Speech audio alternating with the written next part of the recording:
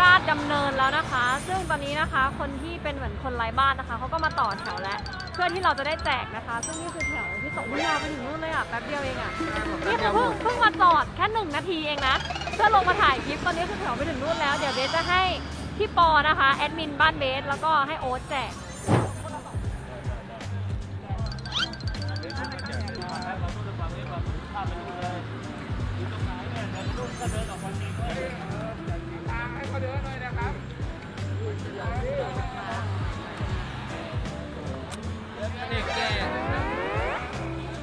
该送送到去泡，不会关掉这么冷啊。